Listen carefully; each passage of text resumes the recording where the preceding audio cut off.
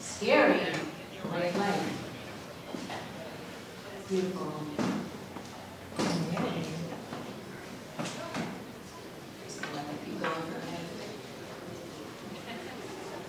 When I first joined the AIN, I did this poll and I just asked 55 people in the community and I thought they would all say the same thing, duh, because I thought it meant to me what it meant to you guys. And I thought this is beautiful to see what it means to us and why we care about it so much. What we care about, we, we give. So look at that, there's very few that are the same. Whoever can count the same ones. I'm guessing that's looks like connection, That's what we use the word community, collaboration, freedom, life, creativity are most popular words, and there are many, many words in there. All right, we have another poll for you. So I think there's another slide with another poll. What does business make you think of? Dun, dun, dun, dun. Please answer the poll. Uh, I think it is the same number. Money. Money, job, work, Stress. course, greed, income, politics, Capitalism. relationships, drive, Sterile. Expectations, too Opportunity. much patient, law, too serious. All right, we'll let that keep running. But as you're doing this, here's the deal. We are here to talk about running an AI business. As you can imagine from your words, we may have some complex feelings about that, maybe some tensions, maybe some questions. So uh, here we go. Let's have at it. So uh, this was, as I say, this is our prompt: the good, the bad, and the reimagining. Uh, I'll, I'll get around to all three of those things, I hope, as we talk. But I want to start with a quiz. So in 1992, I was a member of uh, an improvisational theater group called Freestyle Repertory Theater, which still exists, uh, run by a fabulous Laura Livingston. Ken Adams was a part of that community. And we had, uh, it was a nonprofit company, and Laura, as the artistic director, had put together an advisory board of her actor improvisers. And we would meet regularly. And we also had a board of directors. And the board of directors was made up of non-improvisers, non-performers mostly, business people, lawyers, accountants, bankers, consultants, uh, who were supporting our theater as our board of directors and helping us run the business. And we didn't talk to each other very much, we had very little to do with each other, but Laura decided we should have a board company retreat where the board members got to know the company, the company got to know the board that was helping us fundraise and, and take care of our business. And she brought in an external facilitator, a woman named Janice Janet Harris, to run the retreat. And Janet started with this quiz, which I will now give to you. It's a little dated, so I've also updated it, but let's start with the initial quiz. Yeah, this here. In rehearsal, of course. right?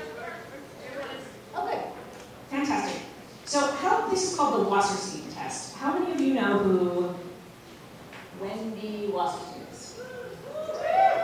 Good, I see a bunch of hands. Who is Wendy Wasserstein? A playwright. She is a Pulitzer Prize winning playwright. In the 90s in New York, she was pretty famous if you were in the theater, even if she wasn't a household name like Neil Simon.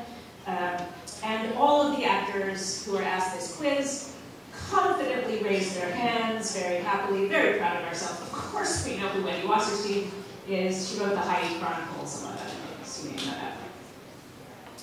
And our board members all raised their hands. They knew who Wendy Wasserstein was. They were New York City intelligentsia. They knew Wendy Wasserstein. She was pretty famous. She was a Pulitzer Prize playwright. They'd seen her place. So we were like, oh, look at us. We all know who Wendy Wasserstein is. This is a stupid quiz. Then, Ms. Sarah said, how many of you know who Bruce Wasserstein is? How many of you know who Bruce is? Bruce Wasserstein was Wendy Wasserstein's brother. At the time, he was the head of uh, Boston Bank. He then went on to create a whole other group of banks, who was like a billionaire in the field of mergers and acquisitions. He was an advisor to the World Bank. He uh, died in his 60s, uh, you know, as a billionaire with lots and lots of money. And he was credited with a huge amount of the mergers acquisition strategy power hub. In other words, a very, very influential, powerful the character who maybe even arguably had more influence on the world at this time than a playwright in New York. Maybe, who knows? So, just like none of us raised our hands here, none of the actors in this space raised our hands. We're like, Bruce Wasserstein, who the heck is Bruce? 95% of the board members raised their hands. They all knew Bruce Wasserstein. This was an important epiphany for me, a huge epiphany for me, as a professional actor living in New York, whose ambient narratives were, actors are the smartest people in the world, we're the coolest, we know everything, we're smarter than everybody else who's a civilian in the world. This would be the equivalent, by the way, this test, of my saying to you, uh, how many of you know who Amy Poehler is? Right? How many of you know who Andrew Bosworth is? Very happy, very happy. Who's Andrew Bosworth? Yes, he's the chief technical officer at now Meta, Facebook. Why, why am I sharing this test with you? It's good to know people with money. know the client's needs. Yes, you're going to say the same thing? We have different We do have different references. And here was my takeaway. I'll say it again. I think that I'm the person with the knowledge and I know stuff. It is much more likely that my clients or business people know more about improv or creativity or innovation or connection or good leadership skills than it is that I know about their business. Yeah? Now, I knew this, I talked about this all the time, this happened in the 90s for me, it helped, it gave me an epiphany on how to work with my clients. But then I had a new version of this epiphany, which was, oh, I'm a business owner. Like, I own a business. And I need to know not just about improv, but I need to know how to run a business. So in the last, I would say, I don't know, just five years, these are some of the things that I've had to add into my network of knowledge and skills and help. So I, as we go. So I had to join professional networks. I read professional books about being an entrepreneur. I got tools to help me uh, have a client management system or to do accounting. All of these things. You have to get health savings accounts for your employees. You have to be able to pay payroll.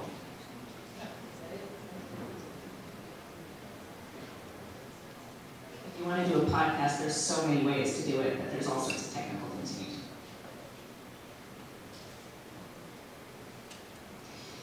I realized, oh, I'm not just an improviser, I have to be a business owner. And that is not something to just make up. There's actually a field of people who help people start businesses. They're business consultants. There are all these tools There's all these ways to do things. There are people who are professionals who know about this, and it is a whole body of knowledge that is separate from no matter how good an improviser I am. Just like facilitation is a whole body of knowledge that actually has nothing to do with principles. I joined uh, the Entrepreneur Organization, and I started going to these coaching sessions where they're going to help me scale my business. And I started going to these meetings, and the story in my head was, I'm not really a business owner, I'm a fake business owner. And I've just improvised everything in my life and it's worked out. And, what, and now I have all these problems, so I'm here because I need help. And the first thing I realized was, oh, I'm exactly like all of these other people. My running my improv business is the same as that person over there trying to start a chocolate business, or that person who's selling RVs, or that person who's, you know, training courses.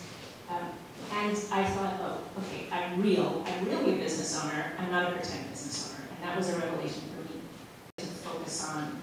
Uh, here they. The first is strategy. People,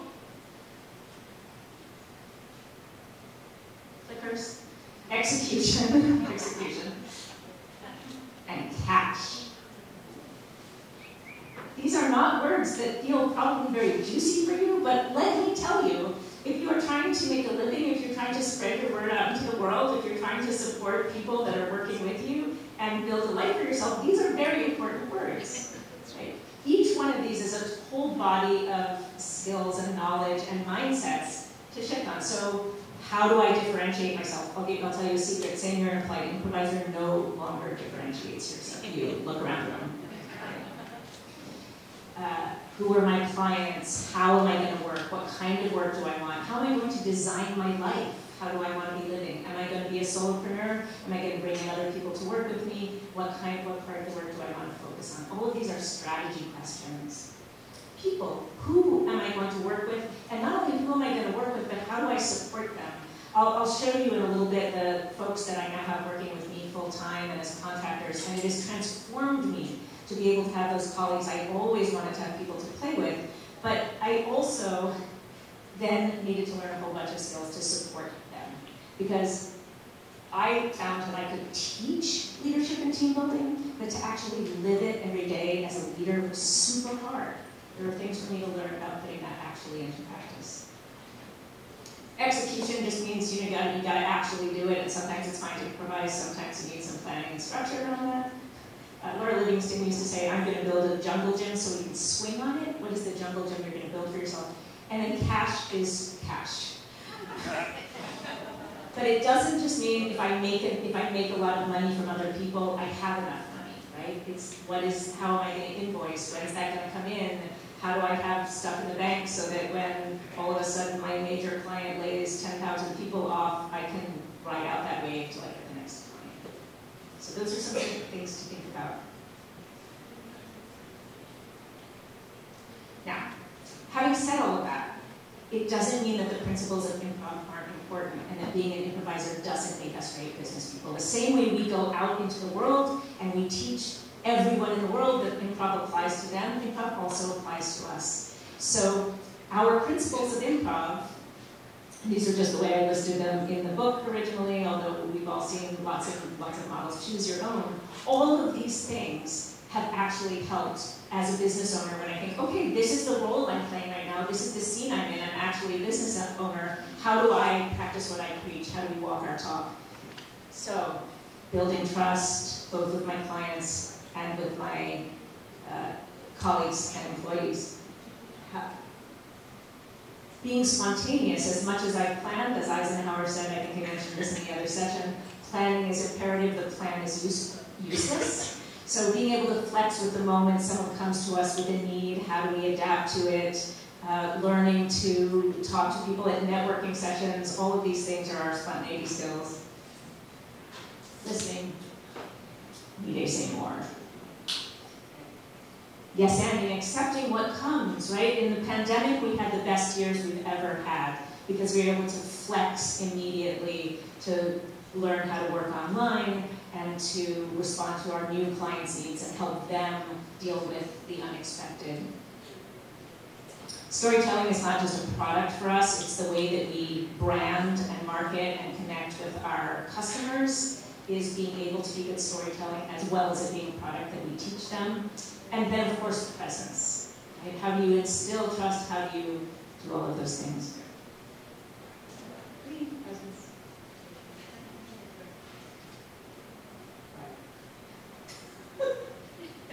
All right. Um, these are my angels. I have uh, full-time employees. Chris Esparza, you know, who is here. Amazing. And Laura, and I have a whole network of people. One of the things learned is I do not have to be alone. And this is what I do not understand, and I'm going to get there. Yes, click, click, click. I'm going to get there in a minute when I talk about reimagining. But I feel like it's very strange the way our how much of our work in, as improvisers building business is done individually and alone. And we come together, we network in all of these ways, like right now in this moment. I wanted playmates who are on my team, where I could go back to my team and bitch about other people. or say, like, we want to win, right? We want to achieve these goals we're going to do together. These people have been incredibly influential to me.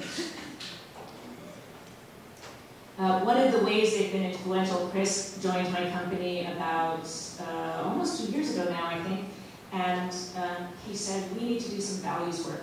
Like, not just think we know our values, but what are actually our values. And he walked us through a year and a half process of identifying them, just like any other business, but then putting them to action and combining our improv wisdom with our business acumen and saying, we want these, we're going to create them, and then we're going to make them behaviors. And how does improv show up for us, and how do we live it? We have play dates every week scheduled into our meetings to have a play meeting because it's one of our values.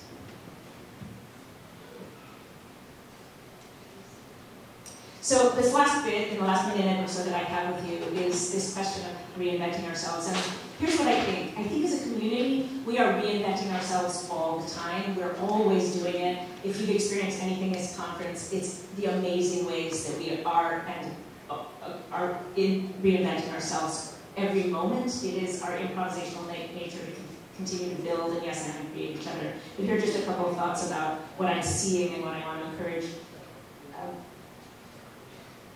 the first is that, as I say, we are not new anymore. Right? People know about improv, they know yes and, they know celebrating failure, it's out there in the world. So we can't just depend on, I have this new idea that you've never heard of, that I'm going to then introduce to you and you're like, wow, you're so brilliant. What comes next? How do we yes and those ideas and help deliver them in ways that are service, just like when you're a lawyer saying, hey, there's a law, isn't the way you started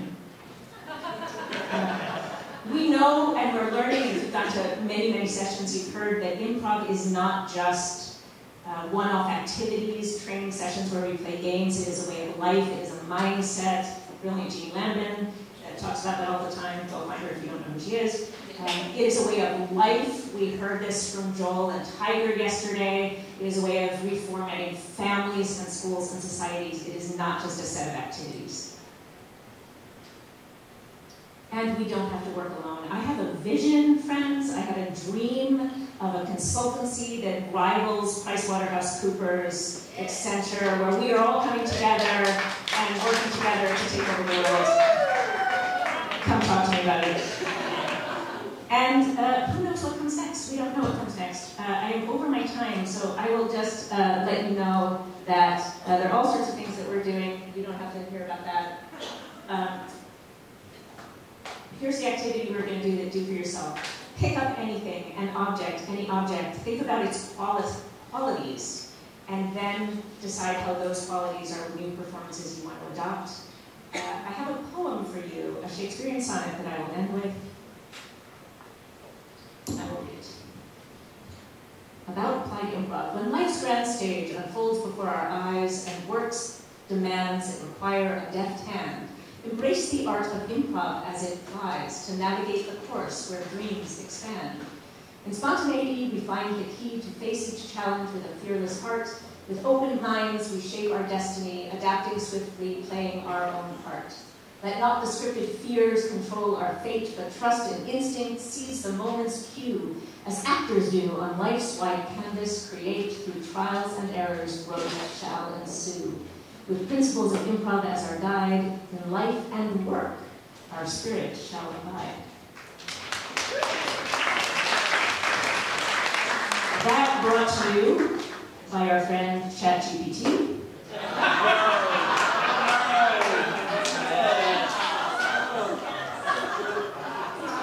If you think the other AI does not understand human emotion or have wisdom to offer, that is crowdsourced from all of us.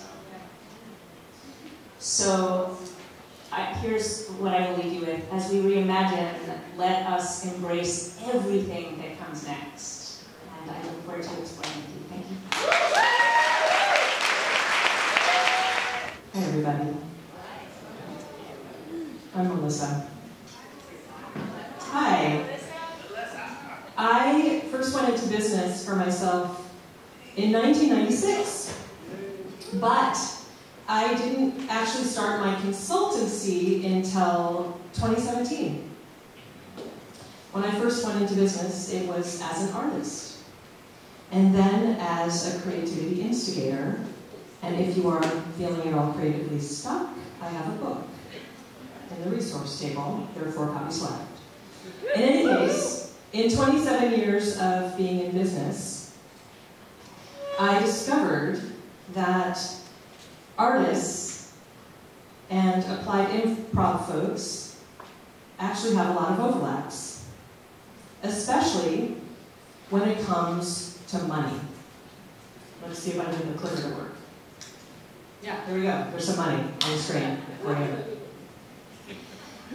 So when I was invited by Kirsten to be part of this panel, I thought that I would share with you some money lessons that I've learned in 27 years of being in business by illustrating them with some maybe horror stories that fit with the category of the good, the bad, and the ugly, I mean the reimagined. But one of the things I've also learned in my many years of being on the planet as a human is that when it comes to presentations, the ones that are most impactful and most memorable are ones that have some kind of embodiment, some kind of interactive element.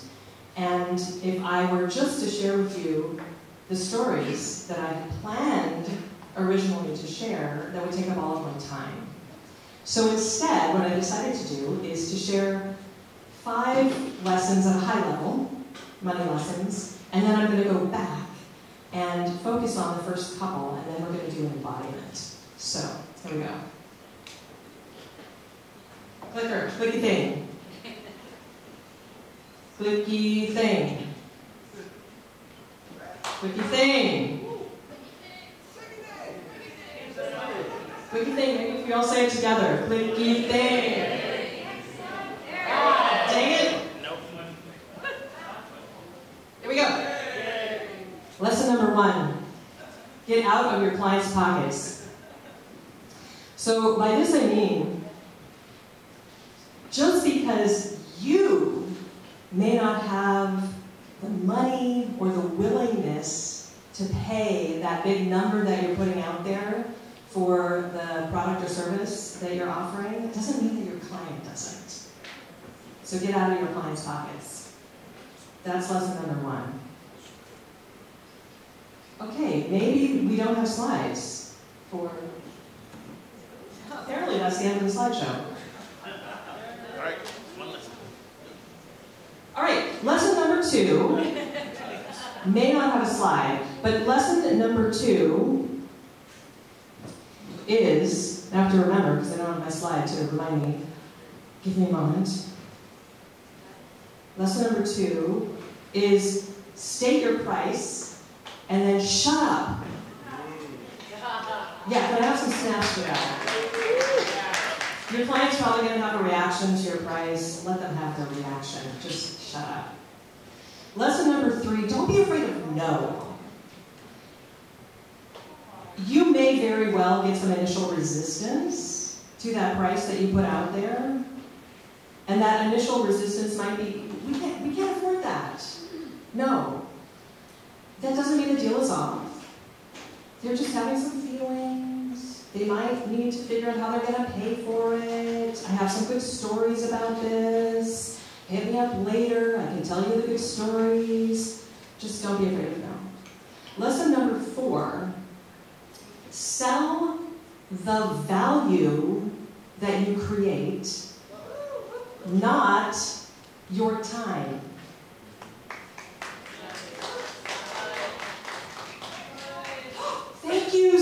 Person. Tyler, you are wonderful. You are not actually selling your time, you're selling transformation. We could do an entire conference about this concept of value based pricing. Your client is not buying your time, they're buying transformation. So sell the value that you create. Lesson number five remember that your price assigns value. So if you're tempted to lower your price because you're afraid that that big high price is going to scare people away, I got news for you. Your low price might be scaring people away because they think that it can't be worth anything. It's too cheap. I got stories about that too. I almost didn't get my foot in the door at Facebook. I've done a lot of work at Facebook. I almost didn't get, didn't get my foot in the door because they thought it couldn't be worth anything because I was pricing too cheap. All right, so let's go back. Tyler, if you could take me back to slide number one, lesson number one.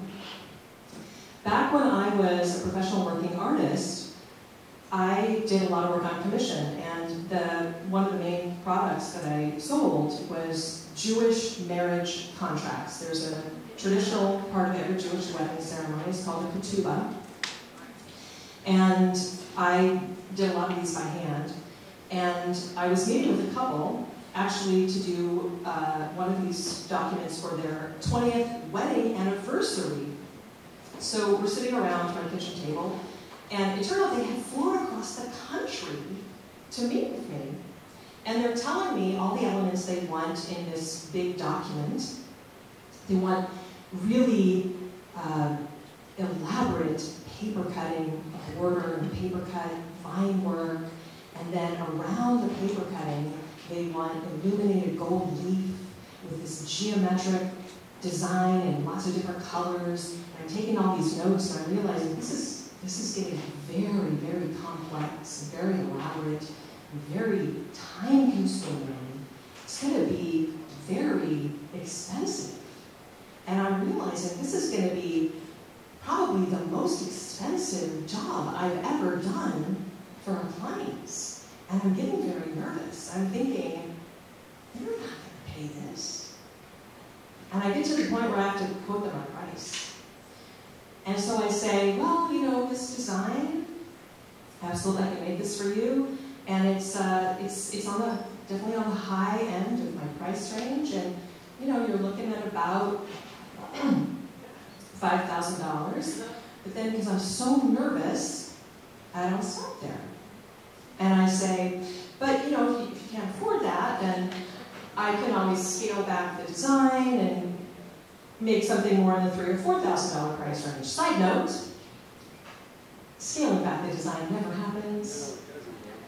I would just make the same damn thing and just charge them less money. And those words come out of my mouth and I just want to push them back in, but it's too late. And the husband says, well, 3,000, 4,000, 5,000, it's all the same to me. But I'm a middle of the road kind of guy, so let's go with the middle option, $4,000. So, in the span of about 10 seconds, I bargained myself out of $1,000 because I couldn't, slide number two please, state my price and shut up. So, now, let's get on with the embodiment part of this presentation. What I was thinking we could do now is, using those first two principles, I would love for each of you to think about a service that you either already offer or would like to offer, and think about that price in your head that you would really like to charge? Everybody have that price in your head? Now what I would like you to do is take that price and double it. Now if that's just absolutely so hard it's going to make you throw up, just raise it by 20%. But what I really want, I really want you to be, feel uncomfortable. Like that price really needs to make you sweat. Like really needs to make you uncomfortable.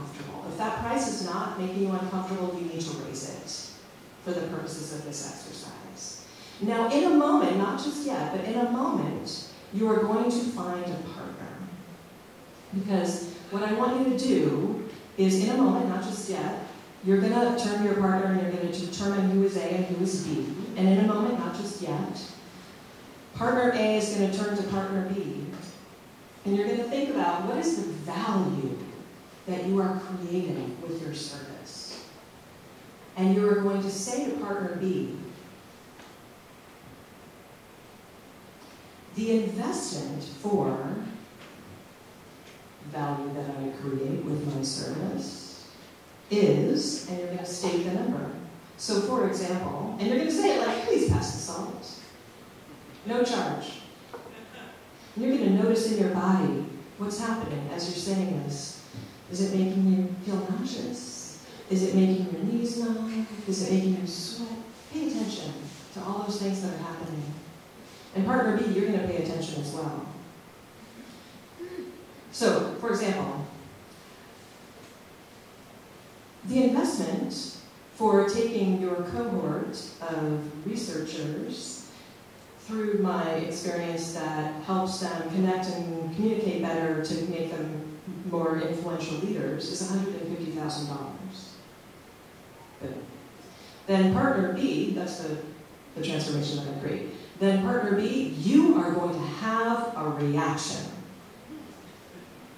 A strong reaction. Now it could be like, great, let me sign on the dotted line. Or it could be like, holy fuck, are you kidding me? Just have some kind of reaction. Partner A, just gonna let them have their reaction and state your price and shut up. Am I making logic? Is this all clear? And then you're gonna switch. Okay? Now, the way that we're gonna come back from this, because it's gonna get really loud in a moment, is I'm gonna raise my hand, and when you see me raise my hand, you're gonna raise your hand, and it's gonna be attached to your chin, and it's gonna make your chin, your jaw close, and you're gonna shut up. And turn and face me. Does that make sense? Okay, any questions on how this is gonna work? Question? Are you, you the investment, that's the investment for your client or how much you're charging? That's the investment that you are asking your client to pay you for the service that you are offering. You're stating your price. Yeah, any other questions? No, it doesn't have to be a negative reaction. It can be whatever a- reaction partner B decides you want it to be. It could be fun to make it a negative reaction, but you get to decide. Any other questions? Okay, go. Okay,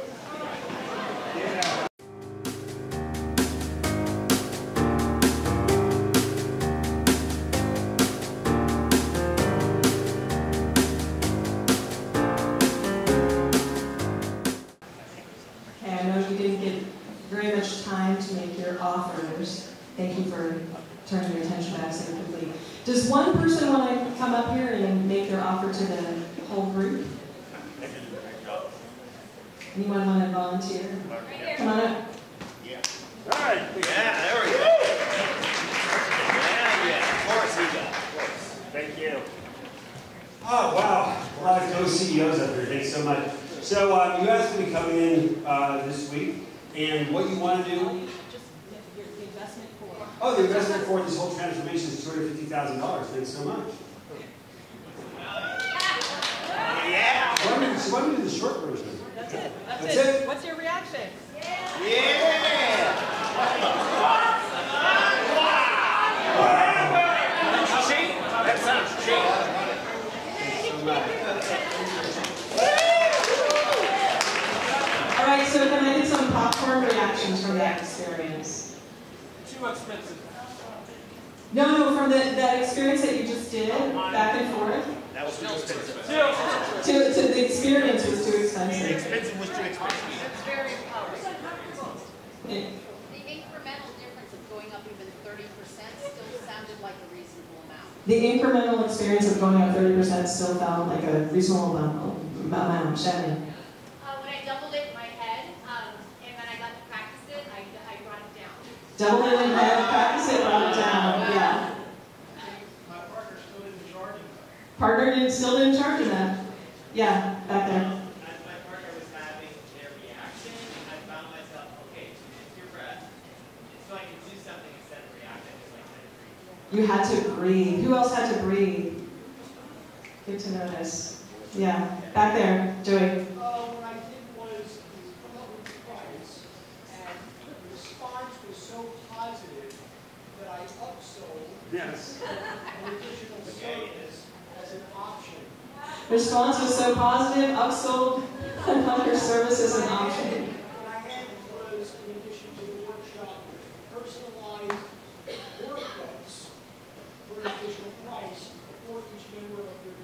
Excellent. Talk to Joey for, for more ideas. All right, I'm out of time. Thank you so much, everybody. Turn it up, DJ. The radio in my mind and in my car. You can't rewind, you come too far. Pictures came and broke your heart. Put the blame on ChatGPT.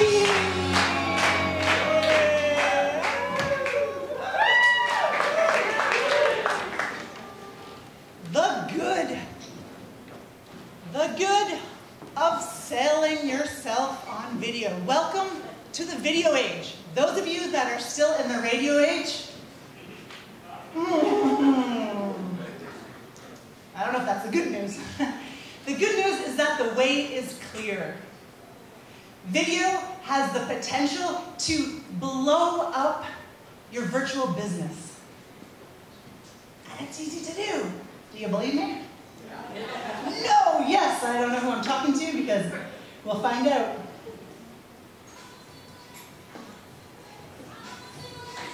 You are selling to the world, but that means you are also competing with the world. Watch out, Beyonce. Yes? YouTube is your competition. And YouTube, oh, there she is. Click. Videos are 1,200 times more shareable than text and images. Yeah. How of you often, this is for often, post videos? Okay, that's eight of you. Very bad little advisors. YouTube is the second most popular online platform. What is number one? Google. Google. Where's Miguel? Congratulations to Google. They're very popular. And Shorts is not the name of Patrick Short's YouTube channel, which I'm sure is very good. Oh, Damn it! He does wear a lot of shorts. I didn't realize the connection in his front row right there. Nice look. Oh, I'm not allowed to say that. Okay. Shorts is the competition to TikTok. Who posts on TikTok? Give me a what? What? What, what? Okay, nine of you. Very nice. How many of you are older than 40 who just did that? Yeah, you guys are the winners. The winners, very good. TikTok, very huge, and it has decreased our attention span by a lot. The person who gets this answer right gets a free bowl of soup. How long do you have to watch an advertisement on YouTube before you're allowed to skip it? Five seconds. Oh, soup, no soup for you. It's gone. Good job, volunteers. Isn't that the answer? How many of you have stick a thousand fingers in the air if you have more than a thousand subscribers to your YouTube channel? One guy in the back there. Oh, Joey, over here. Ooh, and Kat Koppett, very nice. Maybe bad. Second biggest platform in the world. And we don't have a thousand people that want to hear us say something. Okay? For three years, I only had my mom. Okay? And there's only one so we need to get on there. Video star stats. More important to be relatable. Hello, that's a middle name. Okay, then polished. We don't do that so much here. People are watching on average 17 hours of videos a week. Who is doing that in this room? Really? Have you not heard of Netflix? Does that include Netflix? I'm not sure if it does, because then I might be up there with that. Superstore is very good. A couple more stats. 83% of marketers are saying it's got to be less than one minute. Okay? And you got to make it look good on a camera, on a little phony thing, not a flip phone. Okay? It can't be the wide angle. Yeah? Instagram style. That means that way. When I walked up on here, 90% of you thought the same thing. what was it? Nice dress, thank you. More like, that girl ate a lot of donuts on the first day. Yeah, and then everyone is thinking, 90% of you only are thinking, what's in it for me? 10% of you are thinking, what's in it for me? And does she know she sings very badly? yes, she does know that. You are all humans above improvisers. Your clients are humans with problems. And they are always thinking, as soon as you start talking, why do I care? I have YouTube and Tony Robbins to watch. Why would I listen to you? You must make it very clear in the first seven seconds if you're good. And please don't start with hi, my name is, and today I'll be talking about. That goes after the first seven seconds. Okay? We care who you are, but mm, not really. First I care about me, and then I care about who you are and what you can give to me. Unless you're Mother Teresa. She might do it the other way. Okay, it's your big day. Okay, you swiped right. They swept you off your feet, and you feel the desire to make a lifelong death till we part contract to this person. Dun dun da da, finished. It's the vow time. Not the vow time. The vow time is for the honeymoon, yeah? The vow time. And your beloved looks at you with those eyes full of love. And then their lips open, those delicious kissable lips, and they say, read this.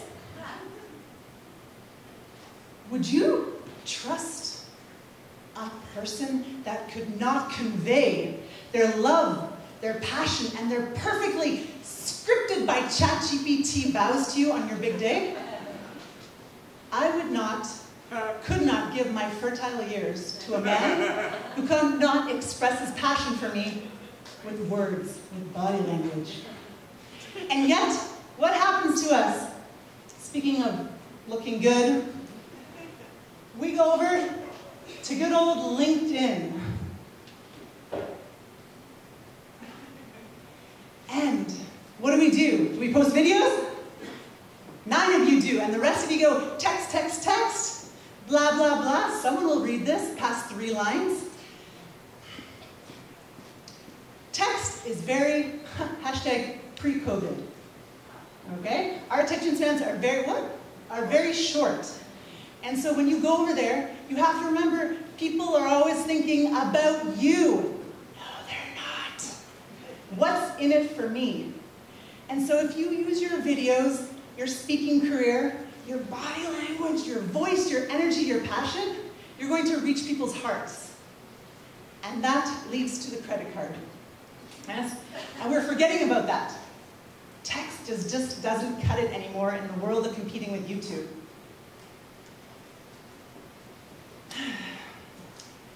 I wasn't always this happily ever after. 100 subscribers on YouTube, living in Barcelona, struggling to create a career. I once was desperate, still of. I once was desperate for money, and I went to the dark side. Please work because it's dramatic. No. So dramatic when practice. Oh, insurance sales is the dark side, get it? Ah. if you haven't done insurance sales, it is. So I'm 30 years old, and I'm going up to construction sites. And I would yell up to the roofer, roofers are pleasant men. And that's not sexist, they're only men. And I would say, hey, buddy, who's gonna pay your rent when you fall down? Very assertive, yes? And he would say, go away. And to men, he would say the F word, but not to me. Every day, mini skirts. Me, not them. And out of a hundred men who would agree to meet me at a Tim Hortons to talk, one of them wanted insurance.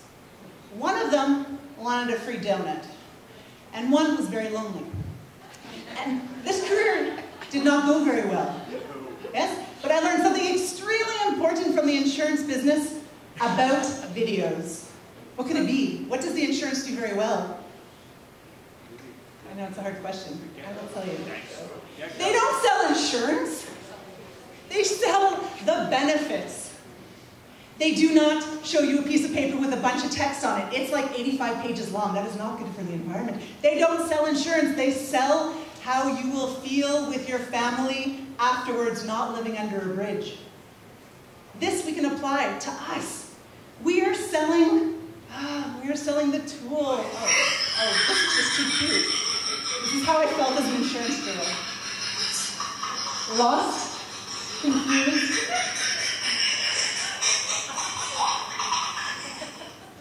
Sorry, TikTok got me. See, that's how it works. TikTok gets you.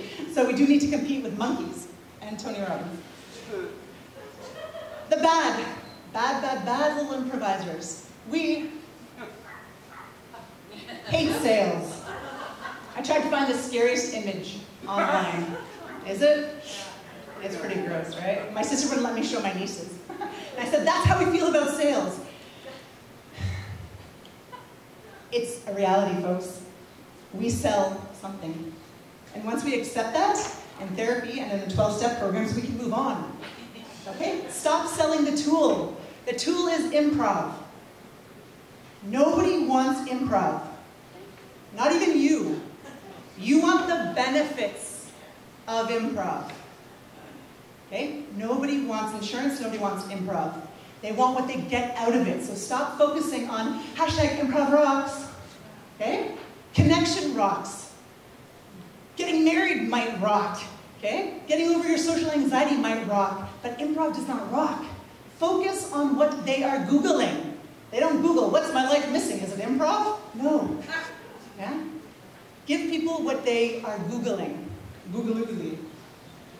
Sell the outcome. Delicious refreshment, happiness, joy, connection. How to get there, how to do videos. Yeah? Help them help them get to the outcome. And then the outcome's not the end. Then you have to get to the feeling of it afterwards. The results. What will their teams get? What will they get? How will their lives be improved? Will they get better interviews? Will they be happier? Will they be thinner? Does improv make you thinner? Not with that Banya. That was good last night, eh? Yeah, like five pieces. Okay. Ooh, look at that. Shake it up. Help them visualize the benefits. And that's why you use video. Because we use our eyes and we get connected with that. And so if you're using text, it's very hard for me to imagine a better life with my husband in a new job if you just write it in text. Okay? Video is our friend. All single legs. Okay, what problem do you solve? Okay? In one sentence. Shut it out, what do you solve? I was too slow. What are they Googling? I, I want to know what I can recommend you for. What do you solve? Happier employees, great. Company culture. Company culture. Cooperation. Okay. World peace. World peace. How do I get world peace? Does anyone solve crappy pointers? Okay, we're not to play worst kid because you know how to play it, but essentially you guys solve a problem and you're experts. And I want you to start thinking like that when you start publishing things. I want you to like go generalist. Everyone in the world needs improv. Yeah, they're called good communication skills. Everybody needs pants, okay? The British and the American way of saying them. But Lululemon does not focus on teenage boys. Lululemon focuses on 40-year-olds who are trying yoga out and want to impress the girl next to her who's better at yoga than her, okay? Lululemon doesn't focus on everyone. You cannot focus on everyone. Somebody likes you, somebody doesn't like you, and your videos should go to that niche, to that target market. That's when your videos are going to get interesting to people. And that's a game. Oh, there he is again. He's so cute. Okay. Oh no, you have to wait. Okay, improv skills are very scary to almost everyone in the world, so stop calling it that. This is very interesting. Why do you watch videos? Okay? 32% say to help me relax and unwind. And only 11% say to learn something new. So you need to talk about stuff that they're interested in. And if you don't have a niche, what the heck are you trying to interest them in? You need to know, is it cat videos and improv? Yeah, is it single people in improv? Is it company culture in improv? Mix them so that you're motivated to make the videos and people are motivated to watch them because you have grabbed their interest and you're going to entertain them. We must be entertaining. I have one minute left. Uh, so I'm going to go through here. I'm just to tell you, there's a lot of places that you can speak. I'm at the beginning of my career. We, we can measure things now, right? And so this is something that um, Nancy Watt has introduced us to about measuring the effects of adaptability. Improv is hard to measure, but if we put it with adaptability intelligence, there are 15 different components of this adaptability. And so we've been using this to measure how adaptable are you? And then you can go in with a 20 minute test and you can actually measure if they've improved in the 15 different components. So we usually work on mindset. Nancy works on unlearn, environment, character, ability.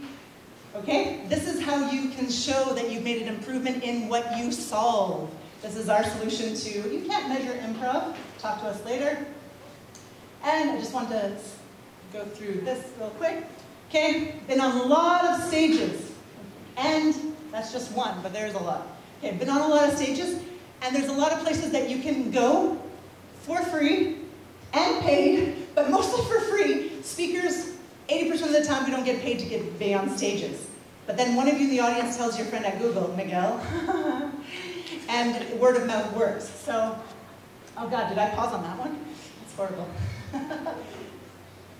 further, further, further. You can go to this thing called Fuck Up Nights. You can go to tech events. You can go to professional speaking associations. You can go to Toastmasters, to Rotary, to Lions Clubs. You can go to children's organizations. You can go to teens. You can go to TikTok. You can go to a lot of places to get your voice heard. Yeah? This guy that we know, come on, baby. Okay, he's not my baby, but I just meant the clicker was my baby. Andrew Tarvin, he's one of our guys. 13 million views. 13 million views. How many have you written a book? Yeah, do you have 13 million reads? One good video could get you 13 million views. Video is extremely powerful. If you'd love to talk to me afterwards, I would love to tell you how you need to get back on stages and use your body, use your voice, use your passion. Uh, in India, in China, Japan, Singapore, professional speakers associations. And I'm going to leave you with this last slide because this is where you can scan. Oh, there we were in Barcelona. Welcome to the world of videos. Are you an expert? Yes, you are. Okay, here are a couple associations, a couple groups that you can scan right now as I get off stage because it's your break time, where you can get speaking opportunities. The Global Speakers Summit is 17 of the professional speakers associations in the world. We're meeting in Bali in a year and two months. And the NSA is part of it. How many are you in the NSA? National Speaking Association? Five of you. We should all be there because we have words that are important to share. And how many have you done TED Talks? We have ideas we're spreading, guys. Please, get that voice out there and I'll see you on YouTube.